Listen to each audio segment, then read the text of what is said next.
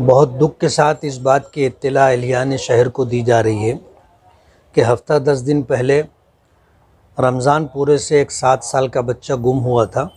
Police station में उसकी complain भी दी गई थी। आज उसकी लाश चांदोड़ से मिली। जिस शख्स के ऊपर शुबा था, पुलिस ने उस शख्स को अरेस्ट कर लिया है। मामला कुछ इस तरह का है कि अहलियान शहर को इस पर तवज्जो देनी चाहिए, ख़ास तौर पर अपने बच्चों की हिफाजत करना।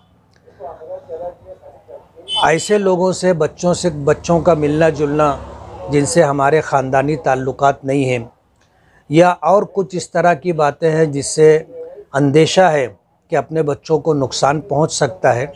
ऐसे अजनबी लोगों से और उन लोगों से जिनको बज़ाहिर अपना समझा जाता है, लेकिन वो अपने नहीं होते।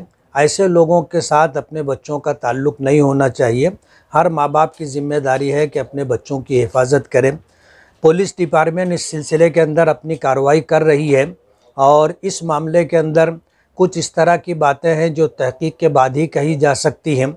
इसलिए ये मामला ऐसा है कि जो समाजी मसला है और उस समाजी मसले को हल करने के लिए समाज के ज़िम्मेदारान को आगे आना होगा।